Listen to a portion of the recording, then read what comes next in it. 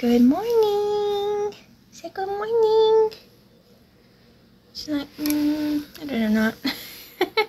good morning, guys. Welcome back to No Catchy Name. It's me, Ella. Today is Vlogtober Day 27, I'm pretty sure. Oh my gosh. How is it this late in the month? Halloween's just a few days away. You know that? Do you know that? Anyways, me and June just got up. She's got a little bit of a black eye going on. Or not a black eye, but like a, whoop, I just poked you. Puffy eye. Because we were laying down this morning together. And um, she was kicking and playing around, you know. And I was trying to look at my message from Devin because he had to go somewhere early this morning. And he was messaging me that he was there. Whoop, whoop.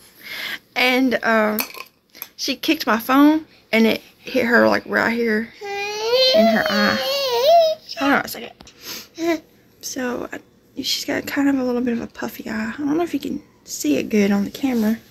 It was red earlier, but it's not red now.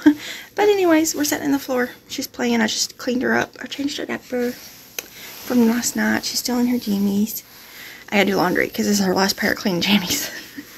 and, um, gotta get this day going. What did I say? Okay, what do I gotta do today? I gotta do laundry. I gotta do Jessie's school need to crochet do film some I need to film a video. I didn't put out any videos all yesterday because I didn't feel well. I didn't feel good today, Tizzy. But yeah, so I don't know. But anyways, I'm gonna go ahead and get out here and get some stuff going because I gotta get moving. It's already like eight o'clock. Into the unknown.